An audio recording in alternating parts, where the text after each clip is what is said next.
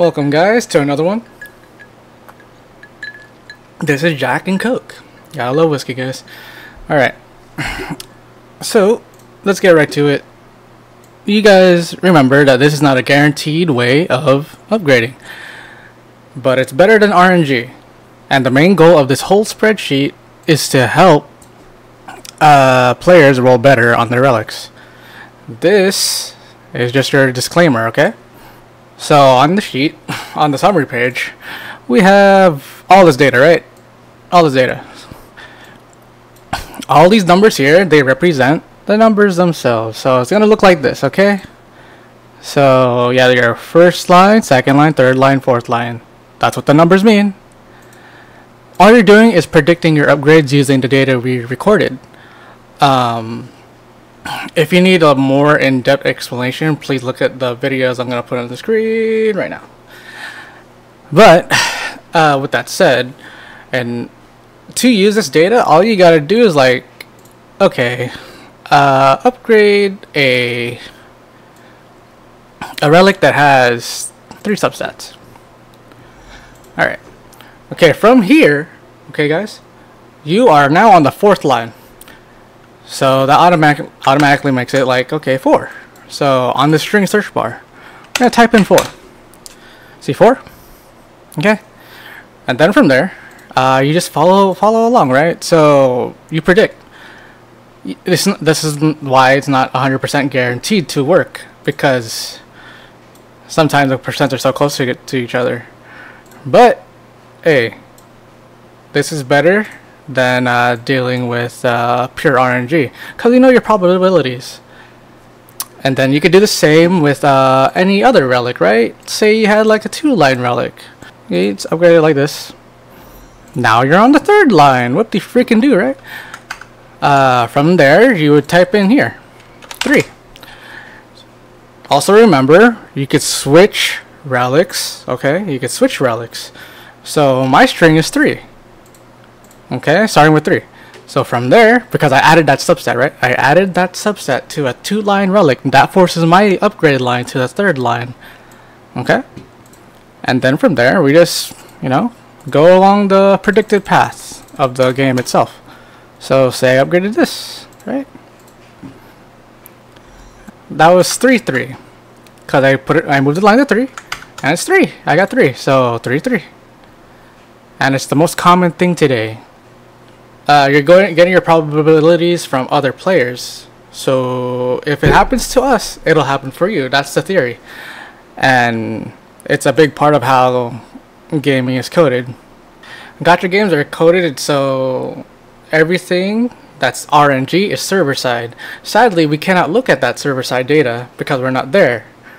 This is uh, also a reason why Hoyoverse wanted it this way they wanted the the RNG to be server side, not client side. If it's client side, everyone would be hacking their relics like no other, or let alone hacking their summons. Would you imagine that? Everything five star, one each each summon five star. They don't want that. They don't want to lose money. So how they make money? They put the RNG on the server. That's pretty much it, yeah. All right. And I'm gonna get this to plus six. 4-1, hey, that's fine. How do I... 4-1. Alright, and then on the sheet, 4-1, 4 or 2 is most probable. So 2 or 4, 2 or 4 next. Lines 2 or 4 next. Alright. Remember that you can switch. Uh, let's look for a relic that has decent substats on lines 2 or 4. Here, this one. We're going to do this one. With the next expected lines to be 2 or 4, let's do it. 3, 2, 1, go. Okay, whatever. 3. oh, man, that was bad. But, that's fine. Uh, oh, I did hit the lowest. Okay. Hmm. Interesting. But I'm not gonna give up hope yet. I'm not gonna give up hope yet. Four one three one four one three two or four again. Lines two or four again. With the least likely being one lines one or three. remember, yeah, these percents are here, but it doesn't mean you're always gonna hit the highest percent. You can still, with bad luck, you can still hit the lowest percent. All right, all right. We're gonna do it. Three, two, one, go. All right, attack percent. Hey, uh, that was two. All right. Then I'm gonna repeat the process. So on and so forth. Okay. The plus six. Hit four two. Hey. Four two. All right. Hey. Okay. Ooh. Ooh. I should uh relog. but whatever. The next expected lines to be uh, one or two according to the sheet. Let's go. I got two. Hey, that's cool. Whoops. Two. Next one. I got four four. Four four. All right. Uh, there's gonna be trash, and then from the four four, what do we got? The two bottom lines are most likely, but I'm gonna look at America too, because I'm America server. Says the same thing. Oh wait, is it the same thing? No, it's not. It's three or one on America. Or two? Okay, I'm going back to all data. That's too confusing. So from my last test earlier, hold on, let me take a look at that. I had 4431. Okay. Well, let, let's do it. We're gonna we're gonna gamba. We're gonna gamba. All right, we're gonna gamba. Out of four four, and we're gonna put that.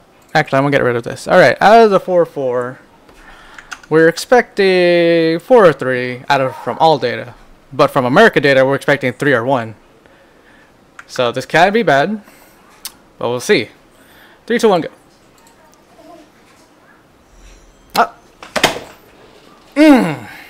That's right. 443, guys. This is why you guys got to remember it's a pattern string. So it actually gets more trustworthy. Even though we have lower tests, it's actually more trustworthy to uh, go down the path. It's a pattern string. If you're just relying on the first percents, that's fine. It's up to you. It's basic if you're just upgrade like focusing on the second upgrade, you're just gonna keep on. How do I call it? It's basically just messing with near 25% each line because look at the percent. Like, if you really want to do it that way, it's up to you. Uh, my uh, going down the path as we get more data, I prefer doing it this way because it's a pattern string. You know what I mean?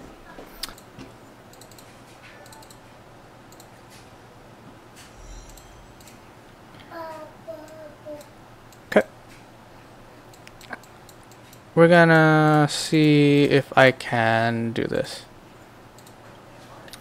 Alright. Don't mind me switching these stuff. Just let me do it. There you go, 4-3. Okay. So, I want to thank all the players that have been uh, contributing to this spreadsheet there we're nearly at 2000 tests for Wednesday. I'm pretty sure we're gonna hit that today. Uh, yeah, and you can see deviation. With that many tests, there's still deviation. Isn't that crazy?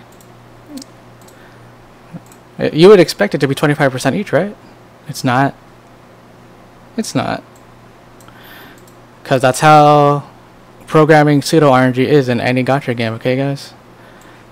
This is now my Acheron. SSS triple S on Fribbels. Uh, I'm not going to go on Seeleland because they didn't update for Acheron yet. But I am going to go for this right here. I'm going to go on Relic Score right here. And look, I am now rank 15 in the world for Acheron. I'm on the first page.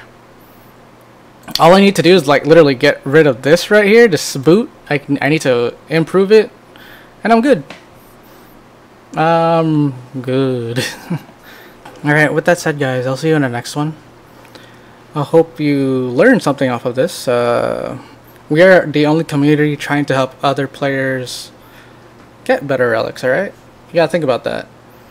We're the only group that's trying to help other players. We are not telling you to whale for your stuff.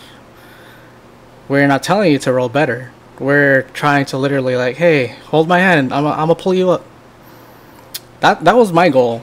Like I'm already on the top, right?